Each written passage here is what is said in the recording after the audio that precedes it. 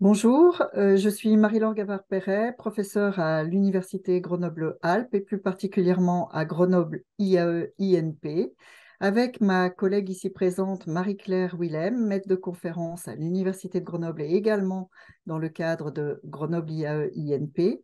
Nous avons le plaisir de vous présenter l'enregistrement vidéo qui a été fait d'une table ronde autour de la persuasion efficace, durable et éthique que nous avons animé le 19 octobre dernier. Euh, cette table ronde avait lieu dans le cadre de la chaire que nous co-dirigeons, Marie-Claire et moi, la chaire Marketing au service de la société ou M2S, chaire de euh, l'IAE de Grenoble.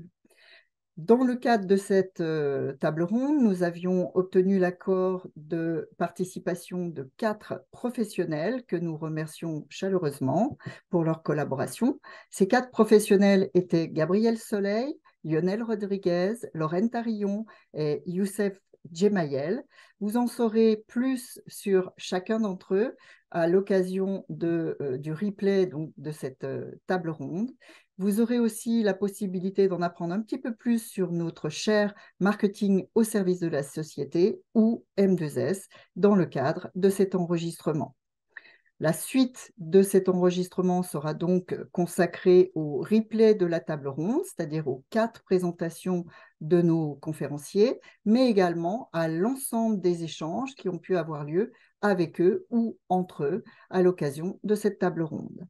Nous espérons que vous aurez beaucoup de plaisir à écouter et regarder cette euh, vidéo. Donc, merci à tous. Chaque intervenant se présentera au moment de sa présentation et euh, chaque présentation ne devrait pas excéder 15 euh, minutes en principe. Je vais laisser la parole tout de suite à Marie-Claire pour qu'elle présente la chaire, donc marketing au service de la société ou M2S. Bonsoir à tous et merci euh, Marie-Laure et merci également à nos conférenciers et à vous tous d'être présents ce soir. Donc effectivement, rapidement une introduction sur notre chaire qui s'appelle Marketing au service de la société puisque on a décidé de s'inspirer du marketing 3.0 comme suggéré par Kotler, faire plus de place au spirituel, au sens, aux émotions, à la collaboration et à la créativité et mettre les valeurs humaines au cœur de la stratégie de marketing responsable, sociale et sociétale. Donc, dans le cadre de cette chaire, nous avons pour mission d'apporter dans des démarches de marketing social et sociétal des éclairages novateurs sur les principes de fonctionnement majeurs, des modes d'action qui sont plus ou moins efficaces et essayer aussi de regarder les mécanismes explicatifs des différents effets constatés. Si vous connaissez, si vous-même vous êtes euh, en marketing dans une entreprise, une ONG, une association, une fondation, ou vous connaissez des gens qui pourraient être intéressés par notre chaire et qui voudraient devenir partenaire de cette chaire, n'hésitez pas à nous contacter pour définir ensemble la proposition la plus adaptée. Je vais donc maintenant passer la Je vais donc maintenant passer la parole au premier intervenant, euh, Gabriel Soleil, qui va nous parler de Nudge et plus particulièrement de Nudge dans un contexte particulier qui est celui des restaurants universitaires. Gabriel, je te laisse te présenter en quelques mots. Et pardon, juste peut-être, juste Gabriel, avant euh, que tu ne commences, vous dire que c'est quand même sous un format table ronde, donc n'hésitez pas à indiquer vos questions, vos réactions dans le chat. Et après chaque présentation ou même pendant au besoin, euh, évidemment, on échangera. Très bien, merci beaucoup Marie-Laure et merci Marie-Claire euh, de l'invitation. et bonsoir du coup, je m'appelle Gabriel Soleil, je travaille au Crous de Grenoble euh, encore quelques jours en réalité, puisque j'ai mon fin de contrat au 5 décembre, mais je continue avec une mission nationale, du coup, pour travailler pour le réseau des CRUS, donc le CNUS, euh, pour encore euh, peut-être une petite année, voire peut-être deux. je suis ingénieur de métier et j'ai travaillé du coup dans la restauration universitaire, particulièrement à la direction de la resto. mon métier, ça a été pendant trois ans de porter la transition écologique de, de cette belle administration Euh, alors, transition écologique pour un Crous, ça peut paraître un peu loin, mais en fait, un Crous, ça sert euh, des millions de repas euh, par an. Il y a à peu près 6 millions d'étudiants en France et on a une quantité de repas journaliers considérable ainsi qu'un certain nombre de logements sociale. La raison d'être des Crous, c'est de faciliter la vie étudiante. Pour faciliter la vie étudiante, on peut juste se contenter d'offrir à manger des pâtes et de faire des logements de 8 mètres carrés sous-chauffés et on ne répond pas tout à fait à besoin de la société. Et donc, notre raison d'être, c'est de servir des repas équilibrés qui n'aggravent pas notre problème de changement climatique et euh, des logements ainsi que des bourses qui sont euh, à la hauteur et de qualité. Euh, on a du coup dans cette politique de transition écologique voulu mettre un énorme, une énorme bifurcation sur le végétarien et cette bifurcation-là, a nécessité un certain nombre de nudges pour pouvoir euh, être acceptable et efficace. Et c'est justement ça que je vous propose de échanger pendant 10 minutes à peu près. On peut passer à la slide d'après. Alors, j'ai dit nudge, mais euh, nudge, globalement, il faut retenir l'idée que c'est un coup de coude, c'est un moyen détourné d'inspirer un changement sans être très clair. C'est-à-dire qu'on va euh, inciter euh, quelqu'un à faire quelque chose sans qu'il l'intellectualise. Et cette action est normalement plutôt euh, responsable. Alors, effectivement, il y a tout un tas d'exemples très bien, et donc il y en a quelques-uns qui sont à l'écran. Je pense que le plus connu de tous, en tout cas chez les hommes, c'est la mouche sur l'urinoir. Qui permet de tirer droit. Et peut-être le plus connu de manière générale, c'est les chemins dans les gares où euh, l'idée c'est de, suivre son chemin, soit avec des traces de pas, soit avec une ligne, donc on le voit sur l'image numéro 2, euh, de pouvoir connaître son chemin à l'avance et donc de suivre les traces. Euh, au Crous, nous, on a mis en place un nudge hyper efficace et qui est applicable dans tous les services de la restauration collective. C'est des pincettes sur le pain. Alors, on l'a pas inventé, hein, c'est quelque chose qu'on a récupéré d'une publi scientifique de 2016. On l'a mis en œuvre entre 2018 et 2020. Euh, l'idée très rapide, c'est de limiter le gaspillage alimentaire par le pain, qui représente euh, à peu près 30 à 40% du flux dans un restaurant euh, universitaire. Après, dans un autre resto, c'est peut-être pas l'idée, mais dans un restaurant universitaire, nous, notre gaspillage, il vient essentiellement du pain, en fait. ce qu'on fait, c'est qu'on met la panière à pain en fin de service, c'est-à-dire que l'étudiant a déjà pris son entrée, son plat, son dessert, ses couverts et son verre, et il a peut-être même déjà payé, il n'a pas encore pris son pain. Donc déjà, il est moins incité à prendre le pain tout de suite parce qu'il a la dalle. Et ensuite, on met des pincettes. C'est-à-dire qu'on euh, n'a pas attendu le Covid pour mettre des pincettes de partout. Euh, l'idée, c'est que ça soit un petit peu embêtant d'aller chercher un bout de pain, que ça soit un effort. Et donc, comme c'est un effort, eh ben, l'étudiant se pose la question, est-ce que j'ai vraiment besoin d'un bout de pain? Euh, L'idée, c'est que s'il veut prendre le bout de pain, il le prend, il n'y a pas de problème. Hein. Mais par contre, s'il n'en a peut-être pas besoin, bah, il ne le prendra pas. On a vu nos, statistiques de gaspillage alimentaire sur le pain, mais euh, décroître grandement. Euh, et d'ailleurs, c'est du coup ce qui a été montré euh, dans, une étude qui date de, 2020. Un autre nudge, sur une autre slide, c'est grâce au WWF, on a eu un petit partenariat très agréable qui nous a permis de faire des jeux à gratter pour les étudiants qui prenaient un plat végétarien. Tous les étudiants qui prenaient un plat végé avaient le droit à un petit cadeau en plus, avec d'abord un jeu à gratter, donc euh, il y a un petit peu de suspense sur est-ce que je vais gagner un cookie ou est-ce que je vais gagner euh, un repas à l'oiseau blanc, qui est un peu le restaurant gastronomique, bistronomique euh, du campus. et en plus de ça, c'est un nudge parce que ça stigmatise, entre guillemets, les personnes qui ne prennent pas le repas végétarien. On a du coup un cadeau pour la personne qui prend végé, et la personne qui ne prend pas végé, bah, elle se sent un petit peu lésée.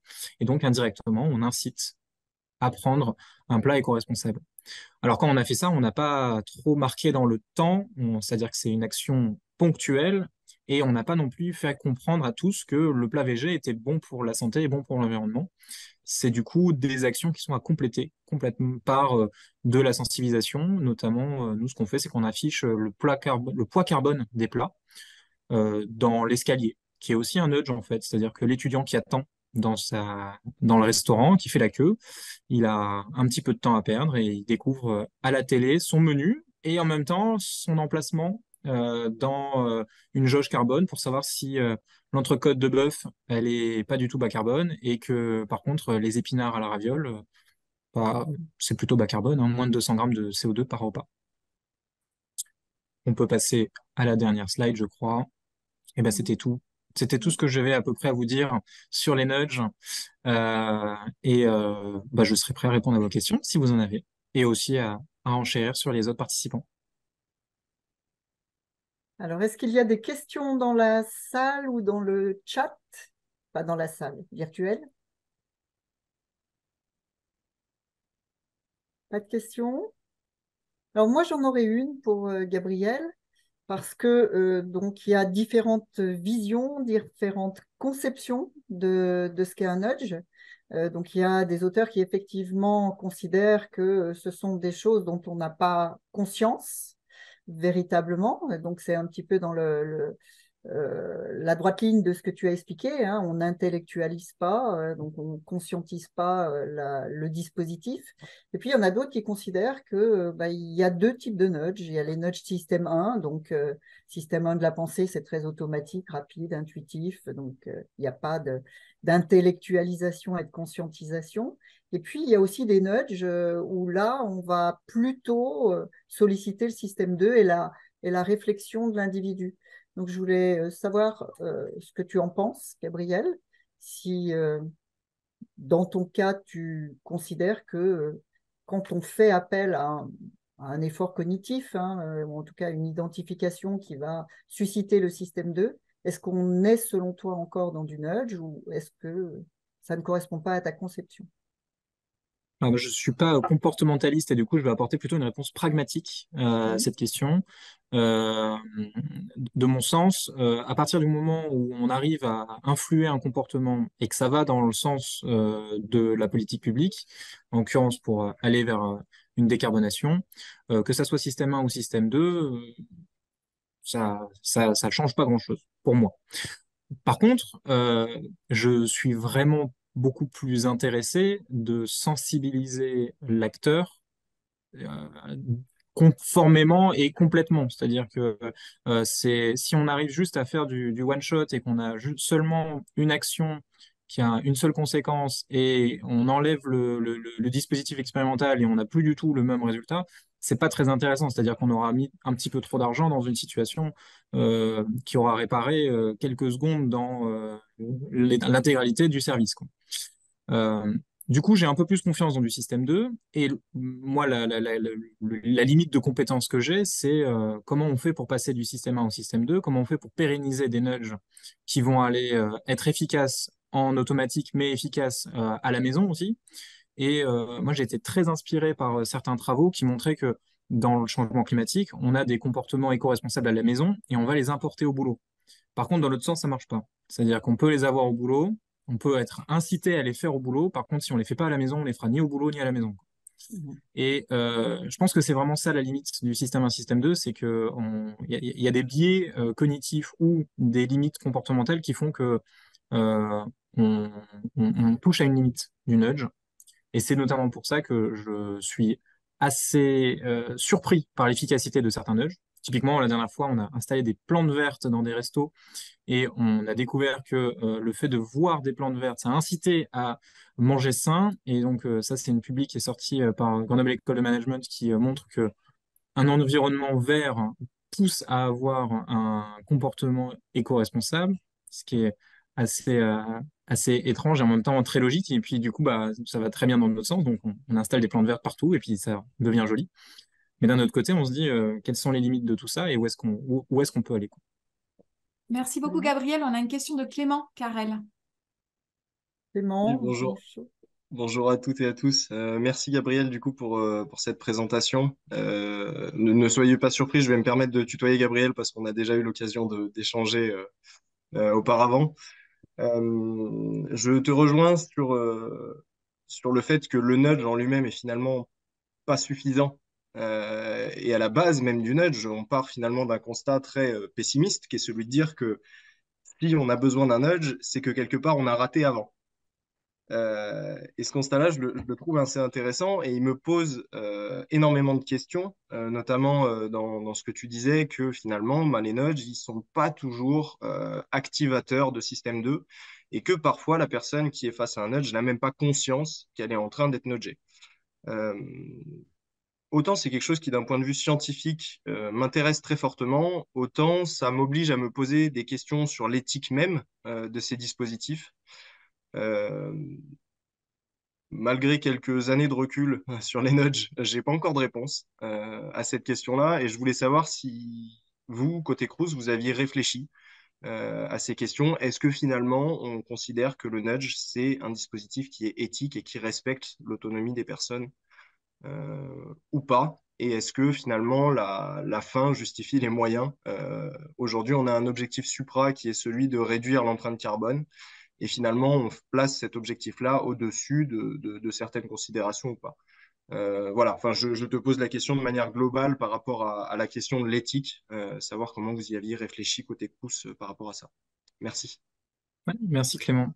on s'est posé la question et la réponse c'est qu'on a trouvé que c'était éthique parce que sinon on n'en aurait pas fait. par contre, c'est toujours l'objectif, quoi. C'est-à-dire qu'on fait un nudge dans l'objectif de quoi? Moi, de ma conception est telle qu'elle est à peu près partagé, en tout cas euh, jusqu'à aujourd'hui euh, dans le Crous, c'est euh, on a une urgence climatique, on est en état d'urgence climatique, et donc on se permet toutes les techniques possibles que nous offre l'appareil légal, législatif, et aussi tout ce que l'on peut mettre en œuvre avec nos moyens, RH et financiers, pour arriver à nos fins. Et nos fins, c'est de nourrir tous les étudiants, qu'ils soient en précarité ou non, et de les loger et euh, de leur offrir euh, une qualité de vie la plus propre possible, en tout cas la, plus égalitaire possible.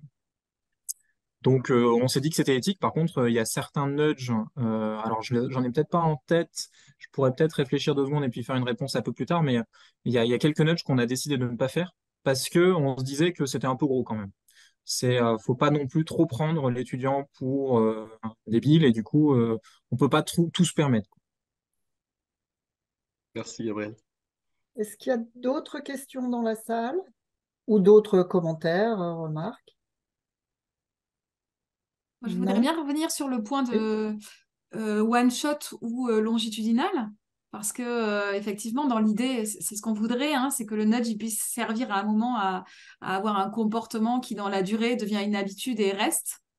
Mais et par exemple, celui des plantes vertes, est-ce que si on enlève les plantes demain, est-ce que le consommateur continue à manger sain ou non? Est-ce que c'est quelque chose auquel vous avez pu réfléchir, tester euh, ou dans un autre exemple? C'est une excellente question. Euh, J'ai pas la réponse. Et pour la simple et bonne raison qu'on a peur de les enlever. euh, on, a, peur, vu, l'efficacité incroyable d'installer des plantes vertes et du coup de voir d'un coup le taux de prise végétarien grimper sans aucun effet externe. enfin, c'est vraiment magique comme opération.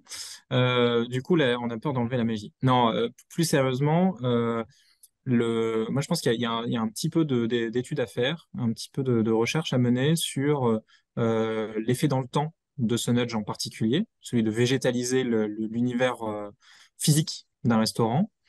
Euh, sur le taux de prise. Et euh, j'ai l'impression que c'est une sorte de d'effet Dirac, quoi. C'est-à-dire qu'on a on a un taux de prise qui explose, et puis dans le temps, hop, ça, redescend à, pas grand-chose.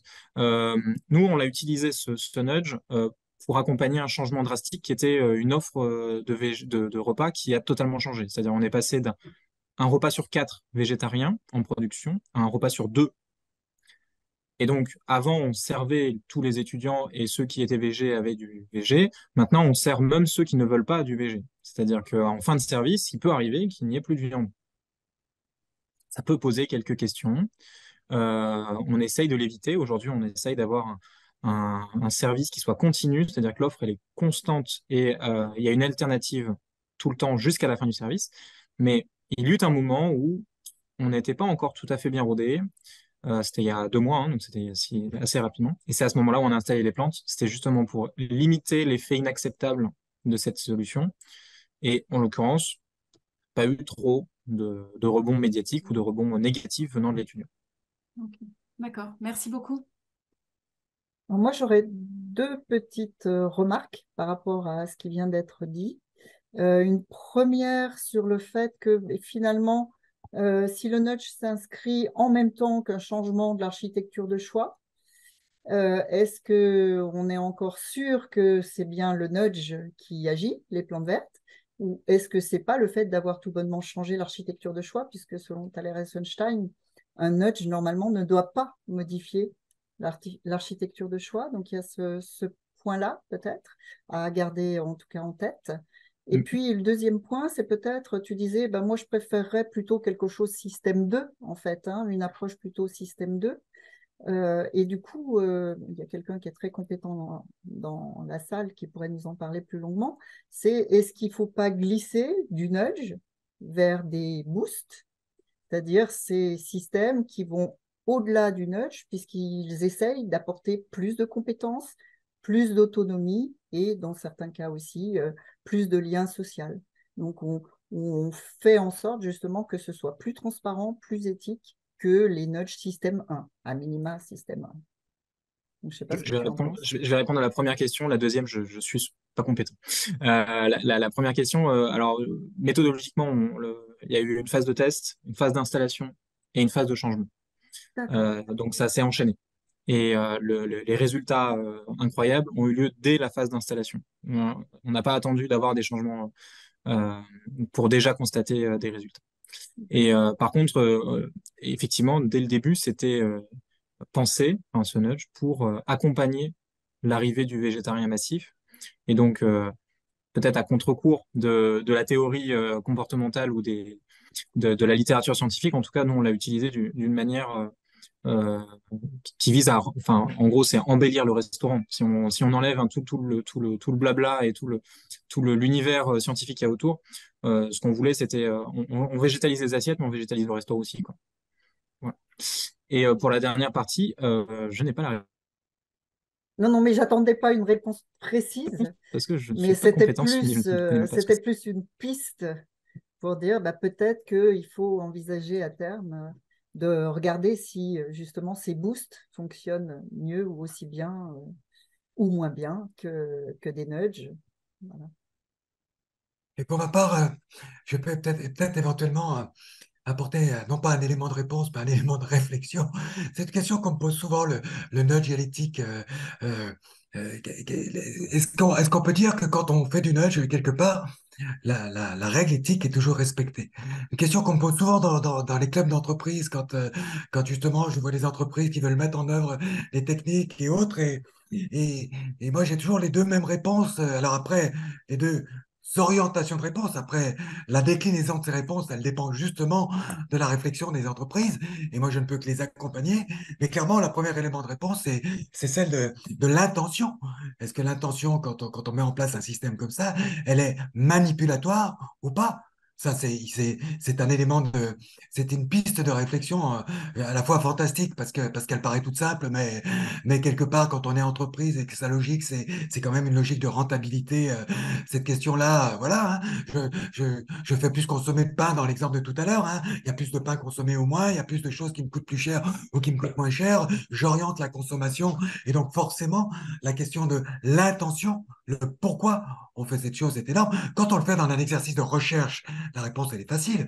Quand on le fait dans un exercice euh, de mise en application, parce qu'on est entrepreneur et quelque part, on va pouvoir euh, constater les conséquences euh, qui vont permettre, entre guillemets, une rentabilité plus, plus forte, plus adaptée, etc. Donc ça, c'est la, c'est la première piste.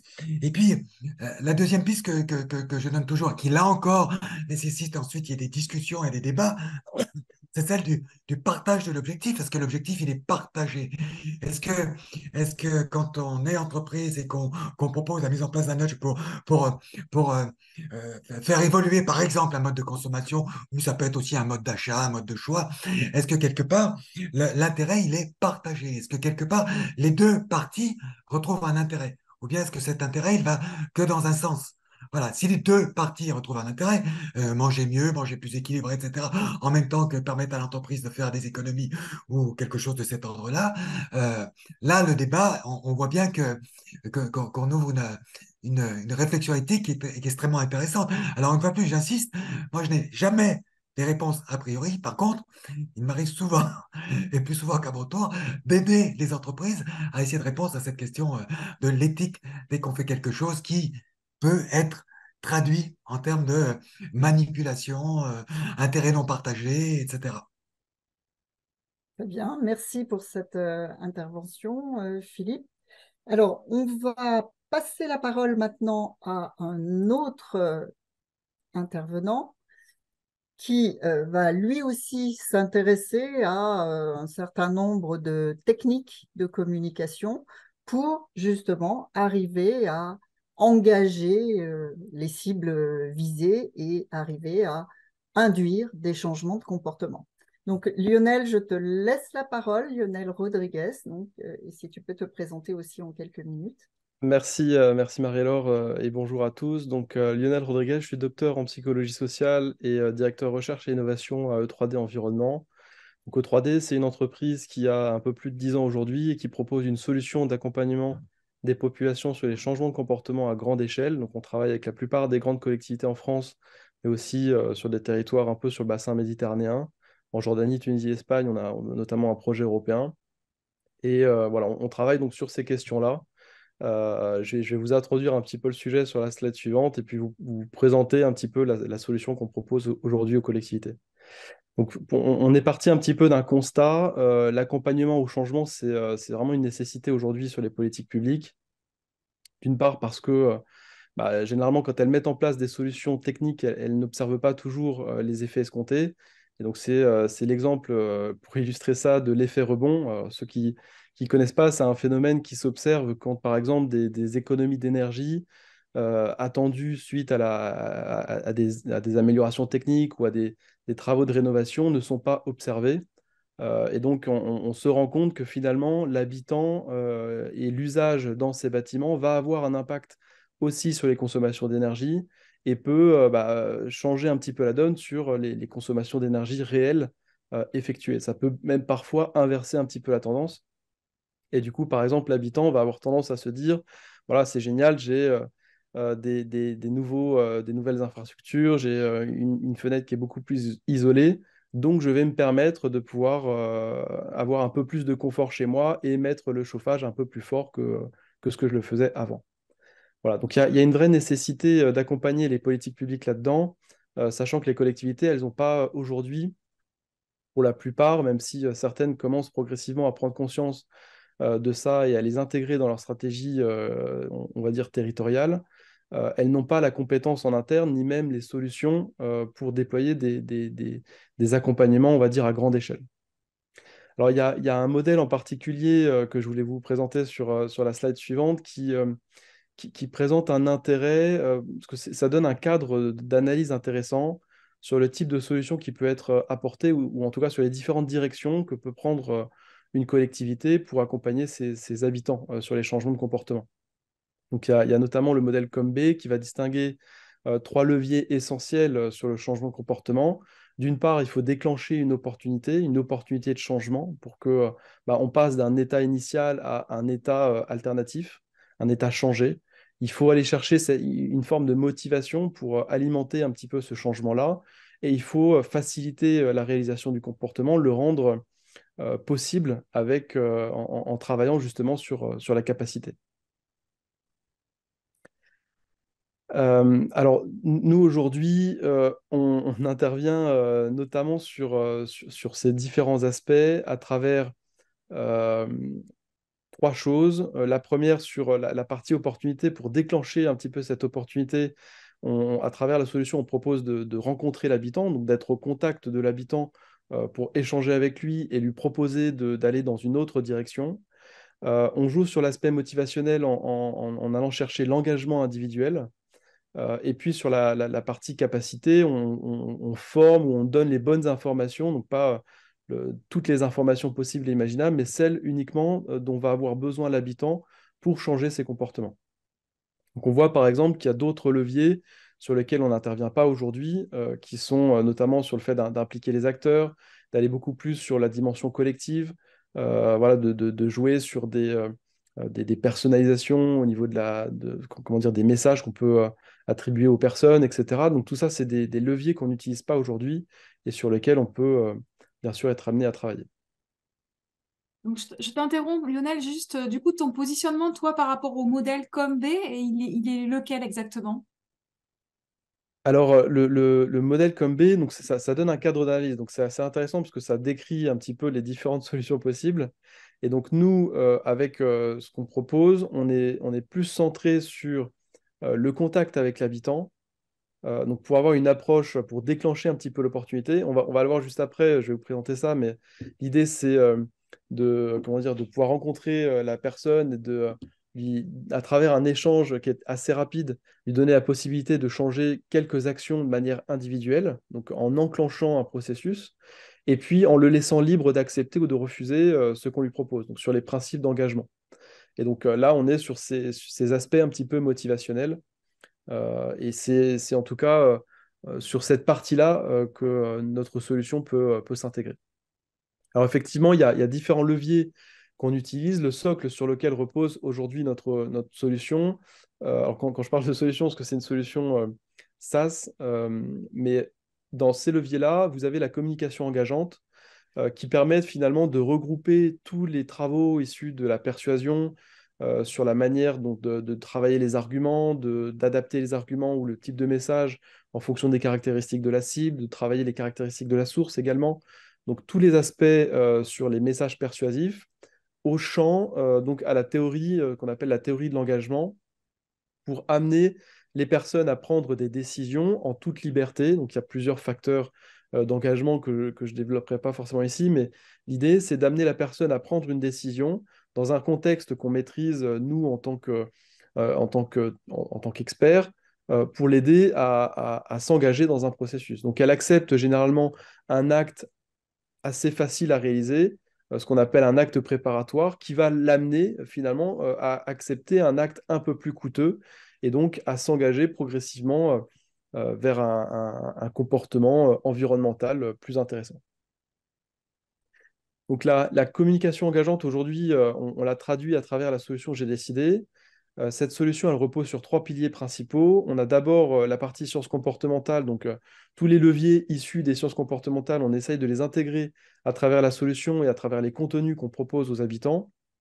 J'ai parlé de la communication engageante, mais on intègre aussi notamment les normes sociales, euh, pour informer les habitants sur le comportement de la majorité, ce genre d'informations, ou sur de l'implémentation d'intentions, euh, essayer de, de, réduire un petit peu euh, les obstacles que peut rencontrer l'habitant en essayant de l'aider à les identifier et puis à, à, planifier un petit peu son comportement. Donc tout ça, on le met en place à travers les contenus.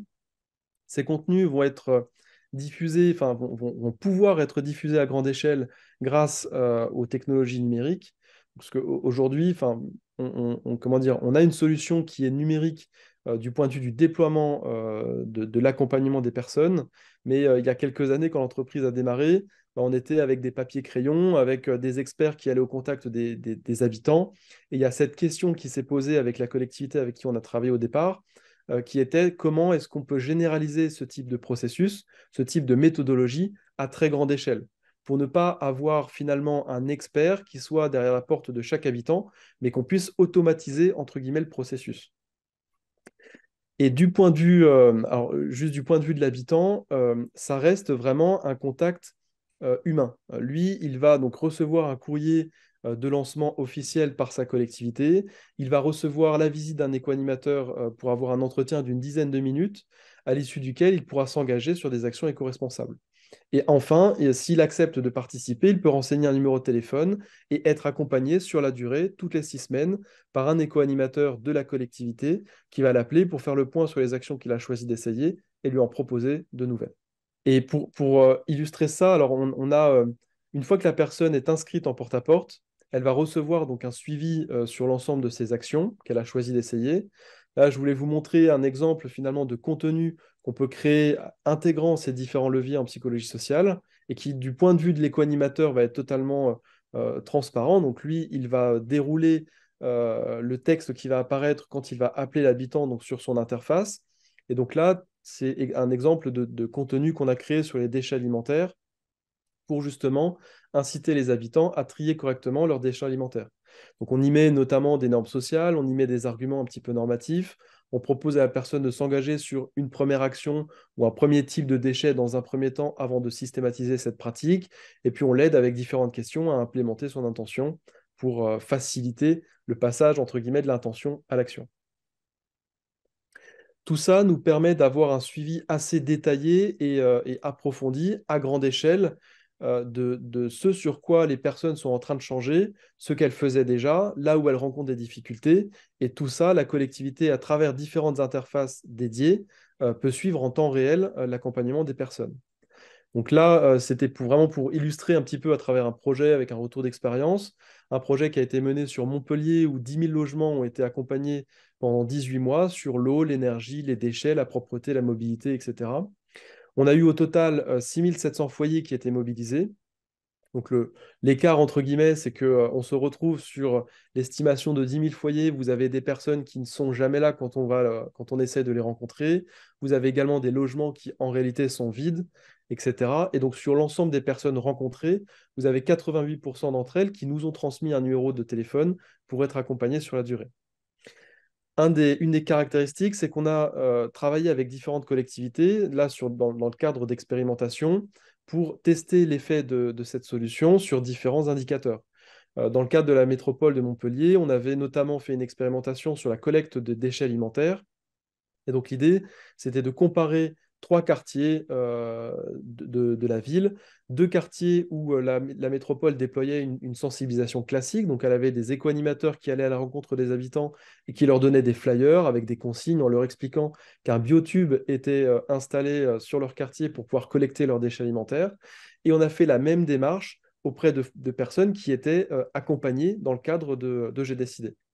Ce qu'on a observé sur, euh, ces, données transmises par la métropole, c'est qu'on a à peu près 2,5 fois plus de biodéchets collectés sur l'ensemble du projet. Euh, et à un moment donné, la collectivité sur les deux, euh, deux, biotubes des quartiers témoins a décidé de retirer les biotubes et c'est à partir de là qu'on n'a plus de données sur ces deux quartiers-là. Et pour, euh, pour mmh. euh, alors on a, on a, quelques autres résultats, je passe assez rapidement sur ça, mais euh, effectivement, on avait des, des, mesures sur les tonnages de papier, sur le verre. ils ont réalisé plusieurs observations à des, à des, à des points clés pour mesurer les indices de salissure. Donc, on, a eu une diminution sur les lieux où les personnes étaient accompagnées de moins 43%. Et on avait également un partenariat avec la Régie des eaux pour avoir accès à des données de consommation d'eau euh, et, on a observé une diminution de, moins 4,5%. Sachant que sur ce type de données, ce qui est assez complexe, c'est euh, de, pouvoir rattacher euh, la donnée à l'habitant. On avait notamment des, des mailles à l'échelle de, bâtiments, et donc on devait regarder parmi ces bâtiments-là quel était le, pourcentage de foyers accompagnés. Donc pour conclure, on a aujourd'hui une solution qui est, qui est, unique et efficace pour provoquer des changements individuels à grande échelle. Euh, on a travaillé sur différentes thématiques environnementales et à chaque fois, euh, avec l'ensemble des, métropoles avec qui on a travaillé, on a observé des, résultats sur ces thématiques-là. Euh, ce qu'on constate aujourd'hui néanmoins, parce qu'on a une activité de, recherche en interne sur les améliorations à apporter à notre outil, à notre solution, c'est qu'on a une approche, alors c'est un parti pris hein, pour l'instant, mais une approche qui est centrée sur l'individu. On a une personne qui s'inscrit et qui est accompagnée de manière individuelle et, cette, approche-là n'intègre pas la dimension euh, collective. Donc on, ne va pas voir, euh, par exemple, les, acteurs environnementaux, les acteurs sociaux, les acteurs euh, économiques du territoire pour créer un lien entre leurs activités, leurs initiatives et ce sur quoi est en train d'agir l'habitant. Voilà, donc ça, c'est notamment des activités sur lesquelles on travaille. Merci beaucoup pour cette présentation très intéressante. Euh, est-ce qu'il y a des questions, soit des autres euh, intervenants ou des, ou des compléments, euh, des commentaires de la part des autres intervenants ou de la part du public? Pas de questions? Alors moi j'en aurais une de question, Lionel, sur donc c'est un dispositif qui est très global avec différents leviers d'action. Hein. Donc, tu, nous as décrit euh, dans une des diapos l'ensemble des, des, leviers qui étaient euh, utilisés. Mais du coup, est-ce que euh, vous avez la possibilité de déterminer s'il y a un levier qui est plus efficace qu'un autre, ou voire même, on peut peut-être se dire que finalement, vous en utilisez de plusieurs sortes mais si on contrôlait l'effet cumulatif, enfin l'effet additif de chaque levier par rapport au premier levier utilisé, etc., on s'apercevrait peut-être qu'il y en a qui sont superflus, qui ne sont pas absolument nécessaires du point de vue de l'efficacité. Alors oui, absolument. En fait, et, c'est une vraie question parce que euh, quand on, fait un package comme ça de leviers dans une même solution, mmh. ça soulève des questions même sur euh, le fait que certains leviers puissent aller à l'encontre d'autres euh, leviers. Mmh. parce que des fois, on peut avoir des effets positifs d'entraînement. deux leviers valent mieux qu'un, mais des fois, deux leviers valent moins qu'un.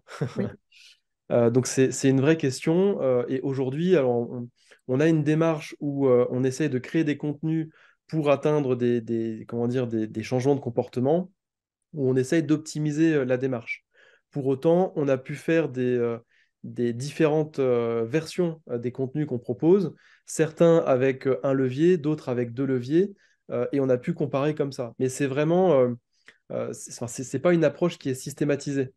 quand on crée un contenu, on essaye de réfléchir avec notre expertise et notre savoir-faire, si, si j'ai envie de dire, euh, la meilleure manière. Donc c'est là-dessus qu'on fait des choix, euh, bien sûr, sur les approches, mais c'est notre, euh, notre, comment dire, notre, enfin, notre façon de faire sur, mmh.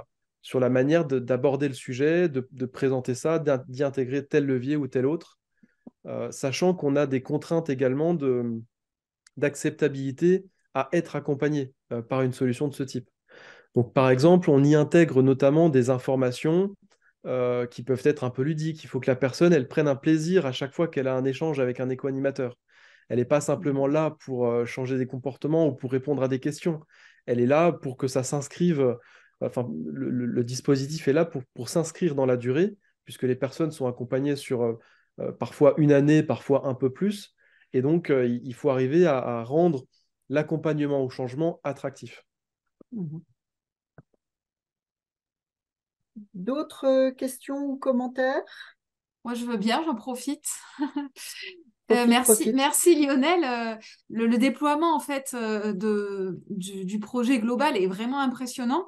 Et tu dis que, ça, que l'idée c'est qu'effectivement ça soit déployé au plus grand nombre, mais en termes de coût, d'énergie, de temps, ça paraît vraiment impressionnant. Le porte-à-porte auprès de 7000 foyers, si j'ai bien compris, plus après le suivi téléphonique sur une longue durée avec des relances, etc. Euh, euh, comment, comment on pourrait imaginer déployer quelque chose comme ça, mais à l'échelle, par exemple, nationale? Alors aujourd'hui, on se, on se, projette avec euh, plusieurs collectivités pour un déploiement sur l'ensemble de leur territoire. parce que justement, on a optimisé la démarche de déploiement. Et aujourd'hui, on va dire que trois éco-animateurs peuvent inscrire en porte-à-porte, -en, -porte, en entretien, 1000 foyers par mois, à peu près. Donc, euh, ah, ça veut dire qu'on est sur des entretiens qui sont très structurés, on est sur 10 minutes d'échange, euh, on est sur des créneaux horaires aussi très spécifiques. Euh, l'éco-animateur ne peut pas travailler, aller voir les personnes de 8h du matin à, 10h du matin, enfin, ce n'est pas optimal. Donc, il faut qu'il y aille sur certains créneaux horaires. Et, c'est la même chose sur l'accompagnement téléphonique.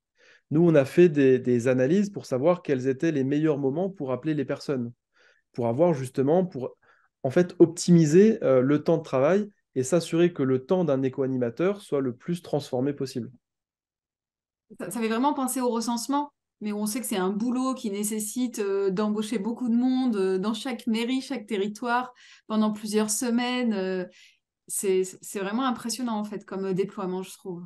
Aujourd'hui, en fait, ce qu'il faut se dire, c'est qu'on est, on est vraiment, enfin, véritablement en train de créer un nouveau métier pour les collectivités euh, qui, souhaitent euh, transformer euh, les, comportements des habitants. parce qu'aujourd'hui, vous avez notamment des collectivités qui ont des services sur la thématique déchets, qui ont déjà en fait des éco-animateurs et qui vont faire du porte-à-porte, sauf qu'elles transmettent un flyer, elles font de la persuasion. Alors c'est indispensable parce que ça va changer le niveau de connaissance, mais, mais ça ne va pas forcément se transformer dans les comportements réels. Donc changer leur méthode en, s'équipant d'un savoir-faire euh, aussi en sciences comportementales derrière, pour être plus efficace, bah, euh, c'est utiliser cette ressource à bon escient. D'accord, merci beaucoup. Dernière petite question, euh, est-ce qu'il y a eu une espèce de calcul de retour sur investissement, c'est-à-dire entre justement tous ces coûts qui sont engagés et les réductions de certaines dépenses énergétiques ou enfin le, voilà, le calcul de, des conséquences positives, on va dire Alors en fait, pour la, plupart des projets sur lesquels on a des démonstrateurs, où on a travaillé avec les collectivités, on a essayé de faire ces, calculs-là. Donc mmh d'évaluer euh, notamment l'impact des éco-gestes euh, que les personnes réussissent, donc pas uniquement ceux qu'elles acceptent, mais ceux qu'elles réussissent, euh, pour les transformer en, en impact réel. Donc que ça soit des économies d'énergie, euh, transformer ça en, une forme de monétisation, donc en argent économisé pour l'habitant, euh, consommation d'eau, euh, pour la mmh mobilité aussi, etc. Et, par exemple, on avait un projet, alors j'ai malheureusement j'ai plus les chiffres en tête, mais on avait un projet sur un retour sur investissement avec la métropole d'Aix-Marseille, où justement toutes les actions, on, on, était en fait pratiquement à 10 fois au-dessus en termes de retour sur investissement par rapport aux projets euh, qu'elles ont l'habitude de déployer. Hmm. Et, c'est là qu'on se rend compte à quel point les collectivités aujourd'hui, certaines d'entre elles, hein, peut-être pas la majorité euh, heureusement, mais certaines d'entre elles euh, déploient des, moyens colossaux pour des résultats qui sont, qui sont minimes. Très bien. Bien, merci. alors, on va continuer à évoquer la question de l'engagement. Hein. Lionel a déjà évoqué cette notion d'engagement. Lorraine qui va suivre, Lorraine Tarillon qui va suivre, va aussi évoquer cette notion d'engagement, mais au travers d'une autre euh, approche, d'une autre technique, essentiellement basée sur le cadeau, mais on verra aussi qu'elle va nous parler de dons. Alors, Lorraine, je te laisse te présenter. Merci beaucoup. Donc, bonjour à tous moi, je suis Lorraine Tarion, je suis Brain Content Manager chez Jeudi Merci. Donc, on est une petite start-up qui va fêter ses quatre ans euh, bientôt, le mois prochain. Moi, ça fait trois ans que je suis à ce poste-là. Donc, Brain Content Manager, je vais plus être en charge euh, de m'occuper euh, de l'image de marque, du ton de la marque, côté écriture et image. Donc, donc voilà de mon côté. Et je tiens à vous remercier de m'avoir invité, parce que il n'y a pas si longtemps que ça, j'étais sur les bancs de l'IAE avec beaucoup de professeurs qui sont dans la salle, donc ça me met déjà pas du tout la pression. en tout cas, merci beaucoup. Du coup, de mon côté, je vais parler de la persuasion du consommateur en B2B. Donc, euh, je souhaitais faire un petit zoom sur le B2B parce que c'est quand même un domaine qui est très particulier et surtout particulier par la spécificité de sa cible. Effectivement, on va s'adresser à un professionnel, un professionnel qui, lui, va avoir vraiment des besoins particuliers.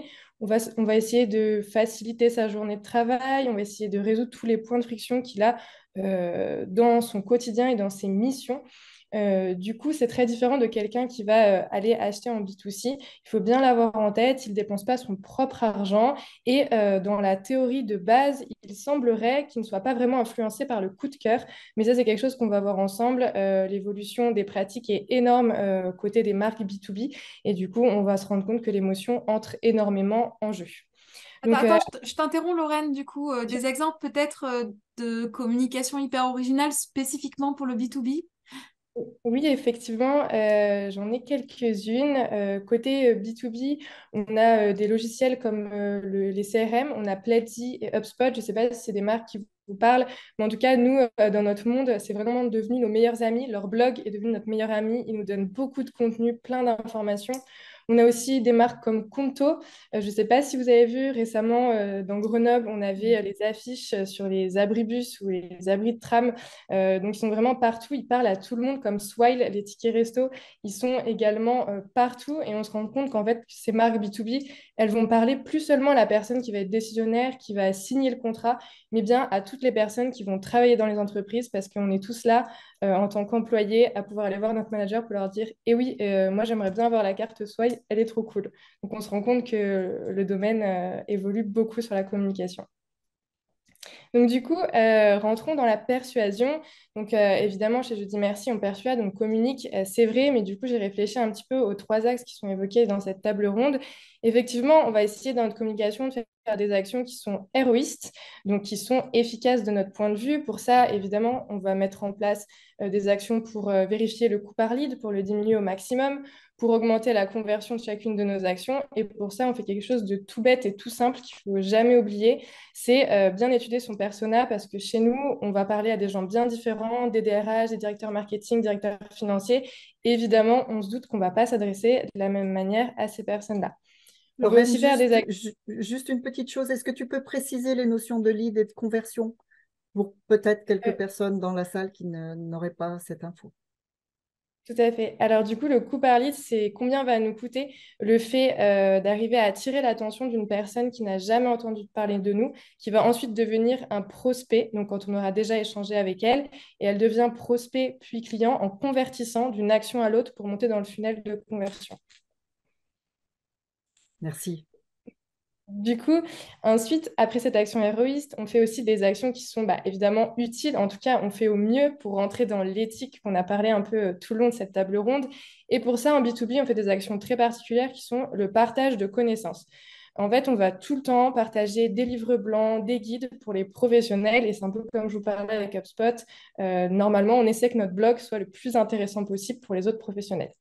Et enfin, ça va être euh, le principal sujet que je vais essayer d'aborder ici, ça va être les actions physiques, entre guillemets, parce que, en fait, euh, nous, pour jouer sur le, plan de la durabilité, on va dire adieu aux emails et aux goodies euh, qui se jettent à la poubelle avant même d'être utilisés parce qu'ils sont cassés ou quoi que ce soit, ou pas très utiles, grâce à l'utilisation de cadeaux personnalisés et de chatbots. Et du coup, je vais rentrer dans le détail de ce fameux offline qui s'oppose donc à l'online, donc tout ce qui se passe en ligne. L'offline, alors on se demande, est-ce que c'est à la mode? Euh, Je vous répondrai, euh, j'espère bientôt. En tout cas, ça revient. On sait que dans le monde actuel, on revient à l'authenticité. On a des valeurs qui, voilà, qui évoluent sur ce point-là. Mais surtout, euh, l'offline, c'est quelque chose qui existe depuis toujours, bien avant les emails. D'ailleurs, on envoyait des courriers. Donc, du coup, euh, j'ai essayé de vous résumer ici les petits euh, super pouvoirs euh, de l'offline. On se rend compte, nous, dans nos études, que le fait d'envoyer des objets physiques, ça déclenche 94% de taux d'ouverture en moyenne contre un taux moyen pour les emails qui est aux alentours de 25-30%. Pour ce qui est de la conversion, donc le fait de faire agir la personne qui reçoit ce colis, on va être aux alentours de 42% euh, contre 3% pour les emails. Et enfin, le 100%, euh, ce n'est pas du tout issu d'une étude, mais c'est plutôt euh, un ressenti humain. Quand on reçoit un colis, souvent on est assez heureux, ça déclenche de l'émotion. Et c'est quelque chose de rare en B2B parce qu'on oublie parfois qu'on s'adresse à des humains et pas qu'à des entreprises.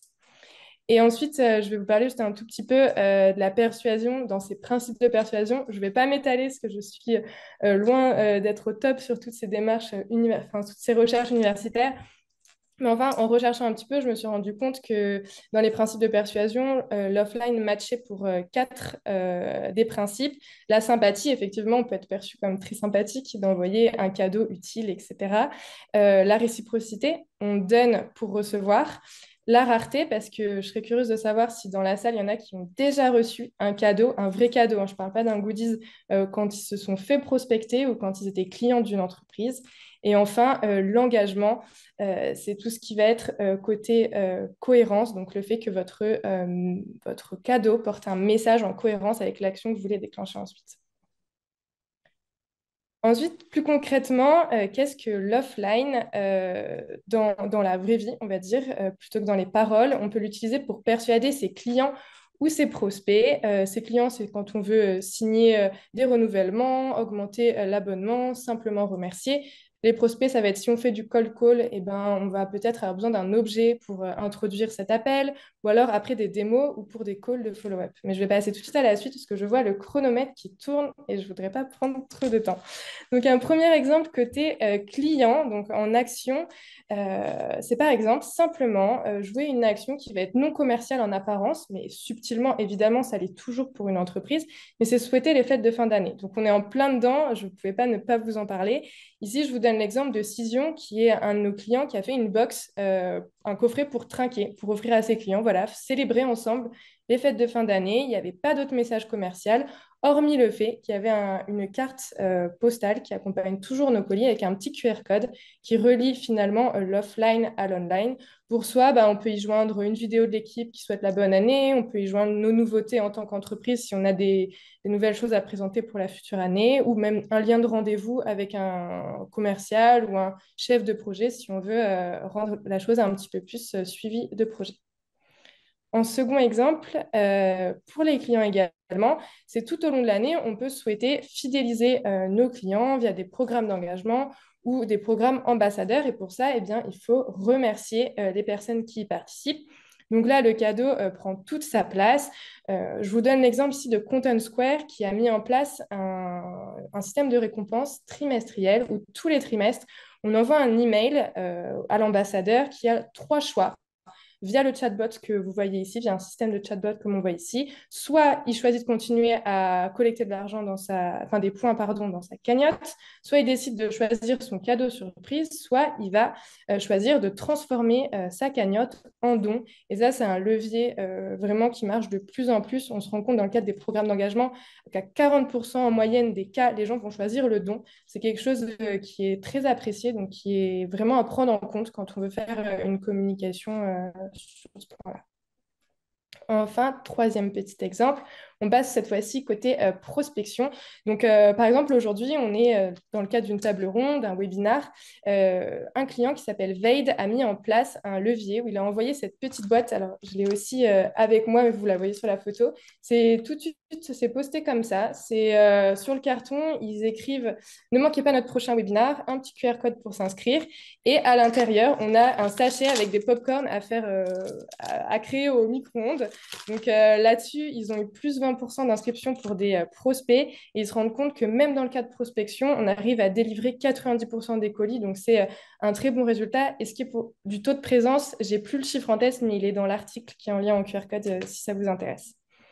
Et dernier petit exemple, euh, c'est en prospection, on veut évidemment entrer dans, enfin, on veut marquer les esprits euh, de euh, notre marque auprès de nos prospects. Ici, je vous donne un exemple qu'on pratique nous chez Jeudi Merci. C'est une petite pop-up qui va s'ouvrir lorsque vous naviguez sur notre site au bout d'un certain temps. Et on propose, si on est cap ou pas cap, de vivre l'expérience Jeudi Merci. Et pour ça, si on est cap, on clique sur le petit bouton, le petit CTA, et on a un formulaire, un chatbot à remplir pour recevoir un cadeau. Et on se rend compte qu'on peut l'appliquer pour toutes les entreprises. Par exemple, vous avez des livres blancs et que vous voulez le proposer à l'envoi pour euh, vos prospects. Ça marche très bien. Et nous, par exemple, le mois dernier, on a eu 32 demandes euh, avec plus de 48% euh, des demandes qui sont ultra qualifiées où nos, nos sales n'ont même pas le temps de rappeler. On est déjà recontacté par les gens qui ont reçu ce colis. Donc, c'est hyper intéressant comme levier. Du coup, tout ça, on se demande si c'est efficace, éthique et durable. Donc pour le côté efficacité, euh, je crois que on peut, de, de, mon point de vue, on peut répondre oui parce que si votre cadeau porte votre message, il n'y a pas trop de doute sur l'efficacité. Côté éthique, euh, j'aurais envie également de répondre oui parce qu'on va jouer sur l'émotion, sur le bon timing, tout en restant très respectueux du cycle de prospection ou du cycle de vie de notre client sans le harceler. Et sur le côté durable, on peut se poser la question sur bah, le côté euh, long terme de ces fameux objets. Euh, et sur le fait que quand on envoie un objet, ça peut être polluant, par exemple. Euh, mais du coup, nous, on se rend compte que les envois physiques sont dix fois plus efficaces qu'un email, l'email étant aussi polluant par la part des choses, notre impact est plutôt raisonné et surtout quand on essaie de mettre en place euh, des partenaires transport qui vont compenser leurs émissions carbone ou même des box de transport qui vont être réutilisables. Je ne sais pas si vous connaissez la marque Ipli. En fait, je crois qu'on peut la renvoyer 400 fois, la box. Il y a une étiquette directement dessus, on la repose dans une boîte et, et comme ça, euh, pas de gaspillage.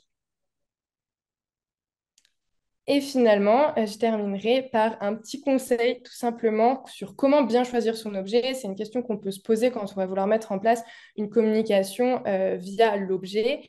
Et du coup, pour être 100% persuasif, mais en gardant ces petits critères d'éthique, d'efficacité et de durabilité, moi, je vous conseille déjà euh, de choisir un objet que vous êtes heureux de recevoir parce que quand on est communicant, parfois, quand on écrit des mails, des, des articles, si on n'est pas nous-mêmes motivés à le lire, euh, c'est un peu la même chose. Il faut qu'on ait envie de le lire, bah, ce cadeau, on ait envie de le recevoir.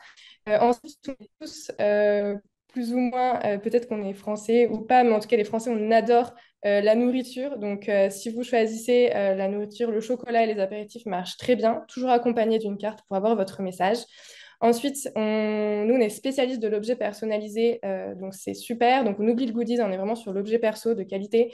On a, comme vous voyez ici, des, bonnets, des tasses qui sont super chouettes. Ça se pose sur le bureau des gens et vous, vous, installez vraiment votre marque chez votre prospect ou votre client. Euh, enfin, il y a aussi le cadeau qui porte un message. Donc ça, je vous en ai déjà pas mal parlé, mais euh, simplement, rapidement, un exemple, c'est le dépipé. On a un client qui a fait ça, c'est une agence euh, de recrutement qui a envoyé à ses futurs clients, donc à ses prospects, un dépipé en leur disant euh, notre collaboration sera gagnante comme ce dé. Donc c'est vraiment un message qui est hyper fort et bon, on n'a pas tous le dé qui match pour notre com, mais en tout cas, on peut toujours trouver des objets hyper originaux pour passer notre message. Et enfin, toujours si l'on peut. En tout cas, c'est très facile via notre app, c'est en quelques clics. Laissez le choix du cadeau ou du don. C'est vraiment hyper apprécié et ça marche très très bien. Voilà pour moi. Merci Lorraine. Alors, il est clair qu'il y aura des liens très forts avec la communication suivante de Youssef Gemayel. Mais avant de passer à la communication de Youssef, peut-être quelques questions ou commentaires? Moi, j'aimerais remercier tout le monde de votre présence sans popcorn. Oui. Mais pour la prochaine, la fois, prochaine fois. Exact, Marie-Laure. Petit chocolat ou je ne sais pas quoi. Moi, j'ai juste une remarque. Oui, Guillaume. j'ai bah, déjà bonsoir à tous. Et en fait, moi, quand je travaillais en entreprise, mes clients avaient tendance à me donner des cadeaux, mais de manière intéressée pour obtenir des informations, pour négocier des prix ou des choses comme ça.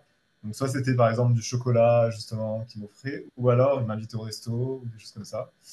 Euh, et toi, je voulais savoir euh, ce que, ce que tu pensais de ça et, et dans quelle mesure, par exemple, je dis merci se démarque de ça. Euh, j'ai peut-être pas bien compris ça, mais en tout cas, la présentation était très claire et, et j'ai bien, bien aimé. Merci, bah, merci de ta question. Euh, effectivement, c'est la question qu'on nous pose toujours, comment euh, euh, nos prospects ou clients vont pas avoir l'impression qu'on les achète? Là-dessus, faire attention en prospection de ne pas jouer sur le montant du cadeau. On n'a pas besoin d'offrir un cadeau à 300 euros à notre prospect, mais comme je vous donnais l'exemple du dépipé, c'est vraiment euh, le message qui va jouer, ne jamais envoyer un cadeau juste pour le montant du cadeau, mais vraiment pour le message qu'il va porter. Donc ça, c'est vraiment ce qu'on essaie de dire euh, au maximum à, nos clients. Après, quand on va s'adresser aux clients, c'est un peu différent des clients fidèles. Là, oui, on a des clients qui offrent pendant leur programme de fidélité des MacBook Pro. Donc ça montre très haut en budget. Mais, mais voilà, c'est pas pareil. Ils ne se sentent pas achetés, mais c'est vraiment le remerciement d'actions de fidélité. Ils ont fait plein d'actions euh, d'ambassadeurs, etc. Donc, ça devient dans la logique. On, remercie dans la logique. Donc, attention, c'est un cadeau de remerciement ou un cadeau qui porte un message. Clément a levé la main. Oui, merci. Merci pour, le, pour cette présentation, du coup, Lorraine. Euh, moi, j'avais une, une, question à vous poser. Vous évoquiez euh, notamment des. Je, reprends, enfin, je rebondis sur la dernière photo que vous montriez, euh, avec le bonnet notamment personnalisé, etc. Euh, J'ai toujours cette petite idée de me dire, d'un point de vue coût, finalement, ça reste intéressant euh, d'envoyer des. Alors, j'entends bien hein, que c'est, on ne parle pas de MacBook Pro. Vous, preniez l'exemple de MacBook Pro. On n'est pas à ce niveau euh, de cadeau-là. Néanmoins, j'imagine que ça représente tout de même un certain budget. Euh, j'imagine notamment, par exemple, pour les pop-corn, pour, les, pour le packaging, etc. J'imagine que ce n'est pas des éléments qui sont faiblement coûteux.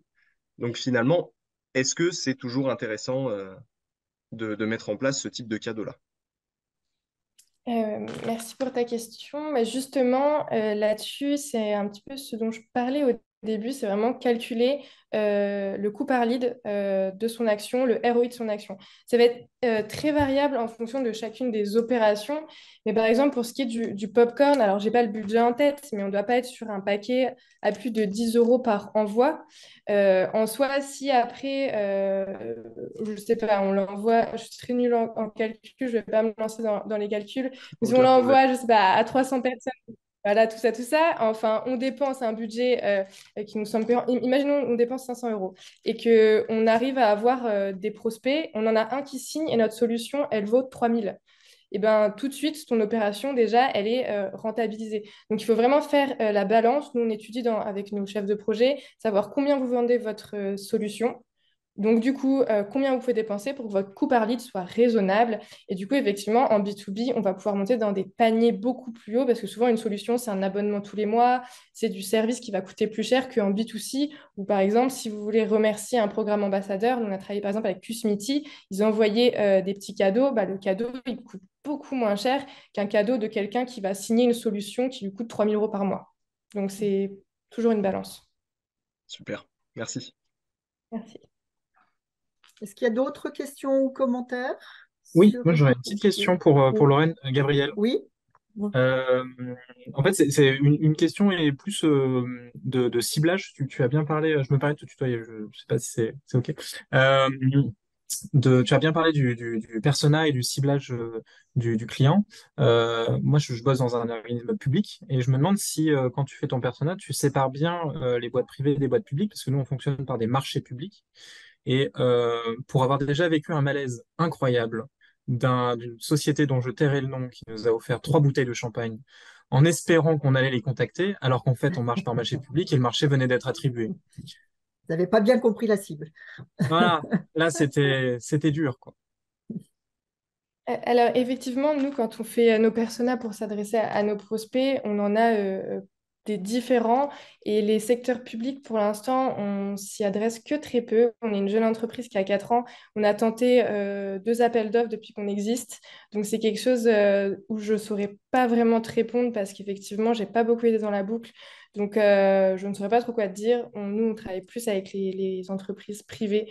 Donc, là, les personas sont plus facilement adressables, effectivement. J'aimerais bien rebondir aussi juste euh, par rapport à, je trouve, à la dérive des mails, mais aussi des goodies. Je trouve que c'est une solution beaucoup plus raisonnable, raisonnée et avec des chiffres impressionnants, les 42% de conversion. Je trouve, je trouve ça quand même assez fou, c'est-à-dire une personne sur deux pratiquement va aller euh, euh, flasher le, le QR code pour voir l'entreprise qu'il y a derrière, ou va peut-être même prendre rendez-vous, etc.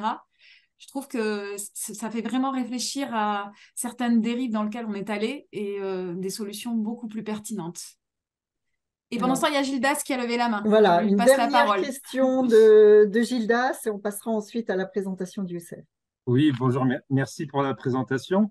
Euh, C'est une, euh, c'est une remarque commentaire parce que dans cette logique de fidélisation et de récompenser les clients, euh, moi j'avais, j'avais été un peu agacé en tant que client de voir des, des programmes de fidélité ou de récompense. Alors, je- je- moi je suis pas B2B, c'était chez Flunch, hein, donc c'était pas très compliqué. Et euh, en fait, on recevait un, un bidule qui, qui n'avait aucun intérêt, c'était, je pense, destiné aux enfants. Et, et ce bidule-là, même l'enfant n'en voulait pas. Et quelque part, on se dit, il y a un programme qui était pensé pour nous, et en fait, euh, donc c'est de l'argent, c'est quelque part une récompense. Et j'aurais aimé, et j'avais même écrit à Flunch pour ça, pour dire, est-ce qu'on ne pourrait pas convertir, on renonce au cadeau, et on convertit ça en don pour une association, ce qui aurait l'avantage d'être plus sobre, et même de faire un bon geste. Enfin bref, tout le monde aurait été gagnant. Bon, ils m'ont pas répondu, mais je me disais que dans votre système, ou dans certains cas, on choisit son cadeau, est-ce qu'on ne pourrait pas même dématérialiser le cadeau en disant, ben non, moi, mon, truc, là, mon, coffret de parfum, ma bouteille de, de clairette, je la convertis en, en don pour une association que j'ai choisie. Là, vous auriez des partenaires. Est-ce que c'est pas une façon aussi de jouer sur la carte éthique, durable et sobre, et puis de gagner même en, en sens pour le client? Euh, Effectivement, c'est euh, tout à fait ce qu'on ce qu'on fait, ce que j'avais tenté d'expliquer du coup euh, sur une des slides avec euh, mon programme ambassadeur. En fait, effectivement, nous on travaille avec deux entreprises, euh, Charitips et All Colibri, qui sont euh, deux euh, Charitips, eux, ils vont euh, avoir des associations connues euh, à qui on peut choisir de faire des dons. Et All Colibri, ils vont proposer euh, qu'on fasse des dons pour des actions, donc par exemple pour des repas ou ce genre de choses. Donc, c'est plus une action VS, une association connue. Et effectivement, on les met dans notre chatbot avant même d'envoyer le cadeau. Donc, en fait, le principe, ce que j'essayais d'expliquer tout à l'heure, c'est que euh, on envoie un email à la personne, on lui dit machin veut t'envoyer un cadeau, clique ici, il ouvre son chatbot et le chatbot lui dit voilà, vous avez trois choix. Est-ce que vous voulez euh, continuer votre cagnotte si c'est un programme ambassadeur, recevoir votre cadeau, euh, soit on lui donne ce que c'est le cadeau ou on lui donne un thème, ou est-ce que vous voulez convertir en association, en don, pardon. Oui, je veux faire un don, les, associations ou les causes s'ouvrent et après on choisit. Donc effectivement, c'est un levier que nous, on utilise déjà et qui, dans ces programmes ambassadeurs, euh, marche dans 40% des cas. Les gens, effectivement, choisissent le don. Ah ben, merci beaucoup, c'est très bien d'y avoir pensé. Je n'avais pas compris dans votre présentation cet élément-là, mais merci beaucoup. Merci à vous. Merci pour cette euh, présentation. Alors, on va voir qu'avec la présentation euh, suivante de Youssef Gemayel, on, on va trouver un certain nombre de points communs et de conclusions identiques. Alors, dans un tout autre cadre, puisqu'il s'agit là de convaincre des prescripteurs, alors des prescripteurs vraiment au sens premier du terme, puisque ce sont des médecins. Youssef Gemayel, je te laisse, je vous laisse vous présenter en quelques mots. Merci beaucoup. Euh, premièrement, euh, je tiens à remercier les organisatrices pour cette invitation très intéressante et également je remercie les participants. Je suis Youssef Gemayel, directeur général de la société Eurobiomed. Nous sommes spécialisés dans le secteur des compléments alimentaires et aussi je fais le développement de l'export vers les marchés en dehors de l'Europe. Et aussi, je suis un docteur en sciences de gestion de l'UGA. Bon, je vais évoquer l'étude. L'étude que je vais présenter s'inscrit dans le contexte de la promotion pharmaceutique, c'est-à-dire, selon l'OMS, toutes les activités d'information et d'incitation menées par les fabricants, l'industrie de produits pharmaceutiques et les distributeurs pour influencer la prescription, l'achat, la consommation de médicaments. Cette promotion est considérable puisqu'en moyenne, elle représente presque 30% du chiffre d'affaires des laboratoires et correspond au double du budget recherche et développement. La pratique dominante dans la promotion pharmaceutique est le don aux prescripteurs, don de cadeaux aux médecins, que ce soit donc de cadeaux, d'échantillons, d'invitations, de formations, etc. C'est ainsi que se forme le cercle don-prescription, don-prescription. Et il peut être perçu d'une part comme non vertueux et d'autre part comme une sorte d'enfermement.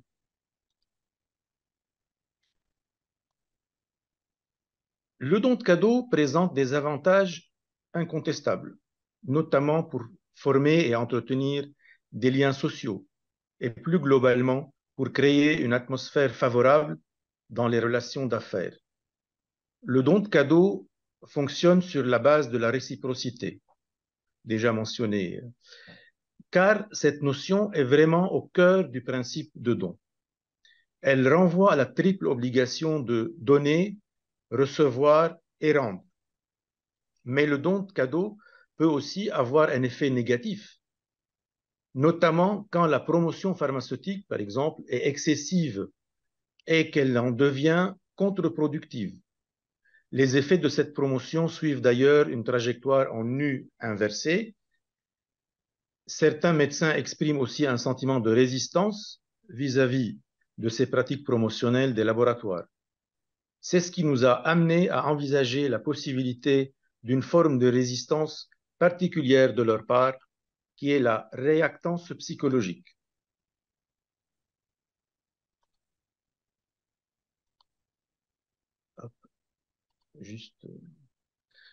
De manière plus précise, la réactance psychologique est une résistance qui se produit lorsque quelqu'un a le sentiment qu'on cherche à limiter sa liberté individuelle.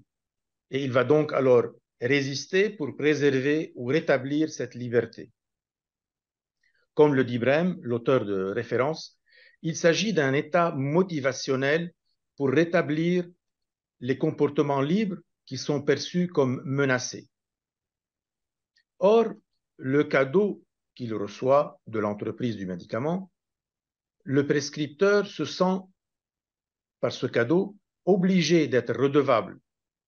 Il peut donc avoir le sentiment qu'on limite son libre choix.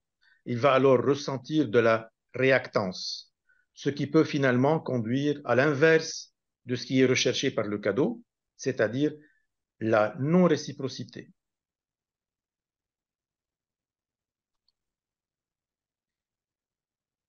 Objectif de l'étude. Nous avons donc décidé de mettre en place une étude avec une double perspective. Premièrement, une perspective managériale afin de mieux comprendre et mesurer les effets et les mécanismes d'influence des cadeaux dans le contexte de la promotion du médicament. Deuxièmement, une perspective plus éthique afin de révéler de possibles influences du don de cadeau qui pourraient être préjudiciables car, comme le dit l'OMS, il y a souvent une contradiction entre les pressions pour accroître les ventes et l'intérêt des patients. Nous avons donc retenu la méthodologie suivante pour l'étude mise en place. Il s'agissait plus précisément d'une expérimentation organisée avec l'accord et le soutien d'une entreprise du médicament libanaise, Tabakemi Farm, à l'occasion du lancement d'un nouveau complément alimentaire. Dans le cas du Liban, tout nouveau médicament, même ceux de confort, doivent faire l'objet d'une première prescription par le médecin pour pouvoir être référencés par les pharmacies. Pour analyser le rôle de la réactance dans l'effet du cadeau sur les prescriptions, nous avons manipulé deux caractéristiques du cadeau. La première concernait la valeur du cadeau, avec deux niveaux possibles, forte valeur ou faible valeur. Ce choix de la valeur a été fait car certaines études ont montré qu'un cadeau de grande valeur est évalué plus favorablement qu'un cadeau de faible valeur. De même, des études ont aussi observé un effet de cette valeur sur les prescriptions des médecins. Mais pourtant, des études ont aussi montré qu'un don de trop forte valeur peut avoir un effet négatif. Elles ont aussi montré qu'une trop grande distribution de cadeaux faisait finalement perdre son effet du cadeau, car celui qui le reçoit se sent moins engagé par de la réciprocité et a même tendance à considérer que les cadeaux offerts sont des cadeaux perdus. La deuxième caractéristique du cadeau que nous avons manipulé correspond au fait que le cadeau soit ou non en rapport avec la profession médicale. Nous avons retenu cette caractéristique car certaines études prennent en compte la congruence entre les cadeaux et leurs bénéficiaires. De même, certaines études font la distinction entre cadeaux personnels et cadeaux professionnels. Enfin, du fait que nous envisageons un rôle médiateur de la réactance situationnelle dans l'effet du cadeau sur les prescriptions, nous avons supposé 1. qu'un cadeau de forte valeur induirait plus de réactance situationnelle puisque le médecin se sentira encore plus obligé à être redevable. 2 qu'un cadeau qui n'est pas en rapport avec la profession induirait aussi plus de réactance. Et à cause de cette réactance, nous avons aussi supposé que cela influencerait négativement les prescriptions du médecin du médicament concerné par le cadeau. Pour réaliser l'étude expérimentale, nous avons procédé de la manière suivante. Dans une première étape, à l'occasion du lancement du nouveau complément alimentaire, des cadeaux ont été distribués aux quatre groupes expérimentaux, mais pas au groupe de contrôle, qui n'a reçu ces cadeaux qu'à la fin de notre période d'expérimentation? Dans un second temps, les médecins des cinq groupes ont répondu à un questionnaire comportant diverses mesures, donc celle de réactance situationnelle. Tout au long de cette période, les prescriptions de médecins ont été relevées, par l'entreprise et à la fin de la période, ces données de prescription anonymisées nous ont été confiées par l'entreprise. Ce qui différenciait les groupes de médecins était qu'ils recevaient uniquement un cadeau correspondant à l'une des combinaisons possibles des deux caractéristiques retenues, la valeur et le rapport avec la profession.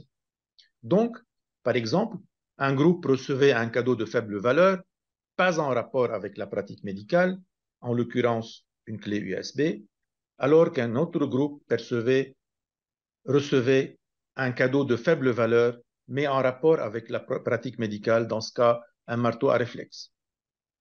À la fin, nous avons donc pu disposer des prescriptions sur trois mois de 164 médecins, c'est-à-dire environ une trentaine par groupe.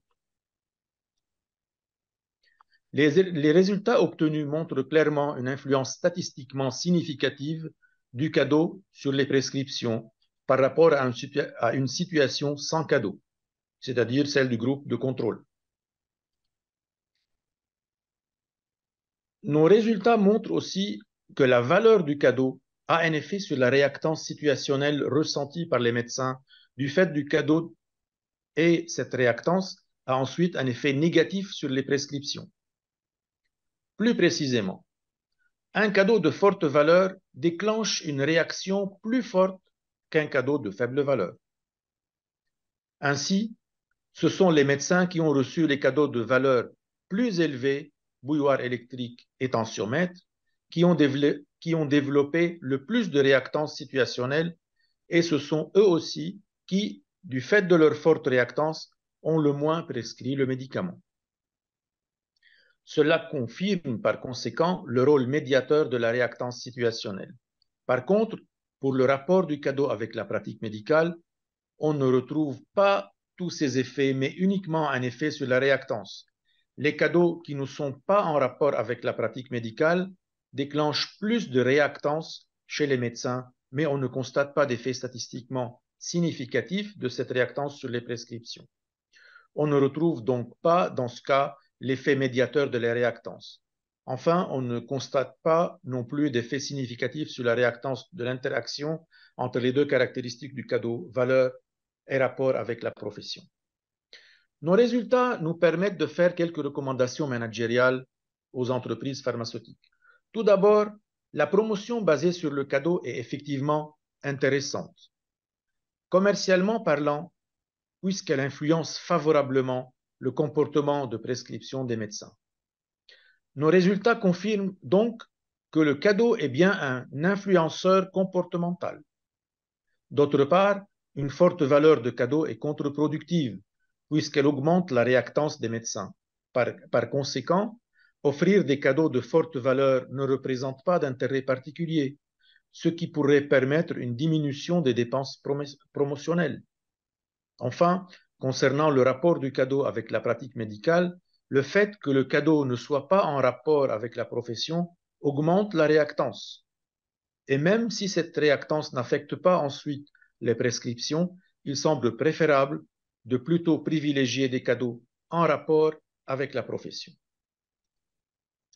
Si l'on se place du point de vue de la défense des patients et de l'intérêt de la société, ces résultats soulèvent des limites quant à l'éthique de telles pratiques, en particulier concernant l'indépendance du médecin dans ses décisions de prescription.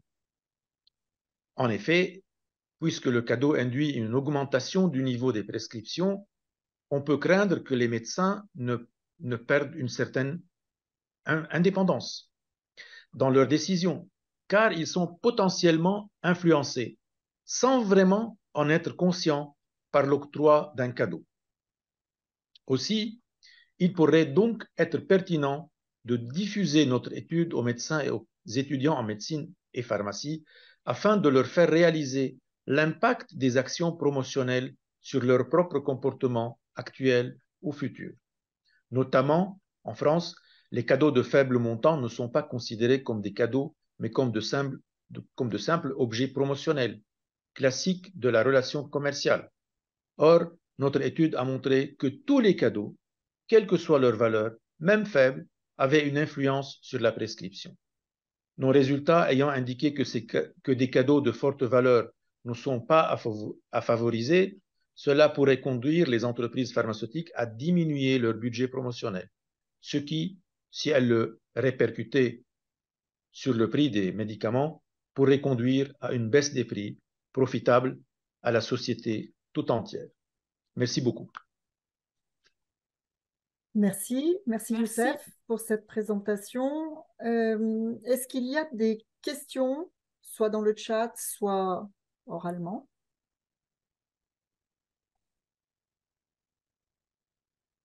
Oui, alors il y a Clément, je crois. Oui, Clément et Guillaume. Clément et Guillaume, très bien. On commence par Clément?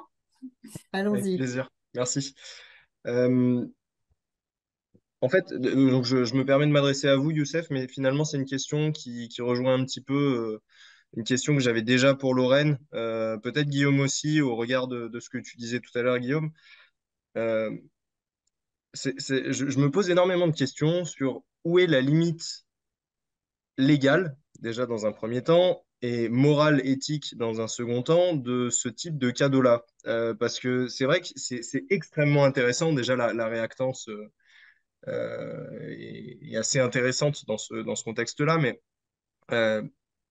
je me dis finalement d'une entreprise à une autre, finalement, c'est pas quelque chose qui me, qui me choque que ce soit des laboratoires pharmaceutiques euh, qui fassent des cadeaux à des médecins et que ces cadeaux aient un impact sur euh, le type de prescription qui en ressort, pose très largement question d'un point de vue éthique. Et effectivement, vous évoquiez sur la dernière slide, sur la dernière ligne même, le fait qu'il y avait une perte de confiance des patients envers les médecins. Je, comprends pourquoi à la vue de ces résultats-là. Et du coup, je m'interrogeais vraiment sur le cadre légal euh, de ce type de cadeau-là. Alors, je sais qu'on n'est pas effectivement euh, euh, en droit, mais est-ce que vous avez des éléments de, réponse sur finalement quelle est la frontière entre le, légal et le non légal et où est-ce que vous placeriez, vous, le cursus entre l'éthique et le non éthique, le moral et le non moral dans, dans ces éléments-là? Voilà, ma question est peut-être très très large et mais euh, c'est simplement que ça m'intéressait. Merci. Merci pour la question. En fait, c'est une question qui n'a pas de réponse. Hmm. Car, en fait, euh, personnellement, j'ai participé euh, dans, à, des, à, des, comités de, pour qu'on puisse faire les, les, guidelines éthiques pour la, pour, en fait, la promotion pharmaceutique. Mhm. Dans beaucoup de pays, ils n'ont ils ont, ils ont pas abouti à des, à des solutions. Parce que, et là, ils ont fini par, euh, ils ont dit, autoréglementation des, des entreprises du médicament. Oui. Autoréglementation, ça veut dire, pour chaque laboratoire, c'est à lui de, de, mettre les limites. Pourtant, il y a dans les, dans les protocoles, il y a des protocoles euh, pour chaque pays et des protocoles pour chaque laboratoire. Par exemple, au Liban, les protocoles déjà euh, euh, mis par les entreprises du médicament, c'est l'autoréglementation. On a mis, en fait, on a dit pas, pas plus que 50 dollars hmm. en valeur. Mais il y, a beaucoup, il y a beaucoup, euh, en fait, moi, parce que j'étais le président du, syndicat des, des, délégués médicaux, j'ai participé beaucoup à des, débats, à tout ça. Même quand on dit une valeur de 50 euros ou 50 dollars, mais avec quelle fréquence? Bien sûr. avec, mm. et, euh, et, maintenant, euh, il y a beaucoup, beaucoup de, de, caractéristiques, il y a beaucoup de facteurs qui entrent et qui peuvent échapper à, aux réglementations, même s'il y a des, des pays qui, qui, qui, ont des réglementations très strictes Maintenant, par exemple, aux États-Unis, ils, euh, ils durcissent les, les, lois contre les cadeaux, tout ça. Mais euh, toujours, toujours, les laboratoires pharmaceutiques, ils trouvent des moyens pour contourner. Euh, hmm. Donc, par, donc finalement... par, exemple, par exemple, Youssef, quels moyens pour contourner la réglementation? Maintenant, par exemple, il, il y a de la formation. Ils, ils, sponsorisent la formation. Ils recrutent des médecins comme des consultants. Mm. Euh, on dit, euh, ouais, vous êtes euh, un opinion leader et du coup, on aime bien que vous faites une conférence pour nous et on vous paye 15 000 dollars. Et c'est un consultant, quoi. Et du coup, il y a beaucoup, beaucoup de moyens de, contourner les, les, les, les, protocoles qu'on met dans soit les syndicats, soit les, les groupements des, des, laboratoires pharmaceutiques, soit même les, gouvernements. Mais mais c'est toujours, c'est euh, c'est toujours pas assez. Ok, super, merci. Alors, euh, juste un petit point de, de contexte. Lorsque euh, Youssef a commencé sa, sa, thèse, la réglementation au Liban était bien différente et était beaucoup moins, cette auto-régulation était bien moindre. Et euh, les cadeaux, Youssef, vous pourrez confirmer, les cadeaux pouvaient être vraiment de, très très grande importance. On pouvait. Euh, il n'y avait, il y a pas de limite. Voilà, il y avait c'était sans limite. Donc on pouvait proposer par exemple de financer les études de, du fils du médecin. Mmh. Des, enfants. Euh, voilà, des, des, cadeaux de ce type-là. Ou bien, euh, disons, offrir de, du mobilier pour la polyclinique, par exemple. Beaucoup de choses. Alors, par contre, dans le cadre de sa thèse, euh, Youssef a dû respecter cette auto-réglementation et du coup, les, les deux niveaux de cadeaux étaient euh, Avec la borne euh, compris dans cette borne de 50. Merci. Guillaume? Alors, ma question est totalement liée à la question de Clément.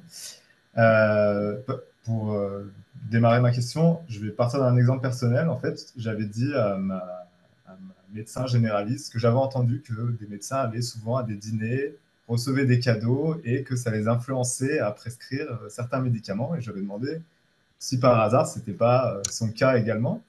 Et elle m'avait avoué qu'en toute honnêteté, que oui, elle participait très régulièrement à des dîners, à des formations justement et à des colloques où elle savait qu'il y avait des euh, personnes de l'industrie euh, pharma qui essayaient de l'influencer, mais que pas du tout, elle n'était pas du tout influençable.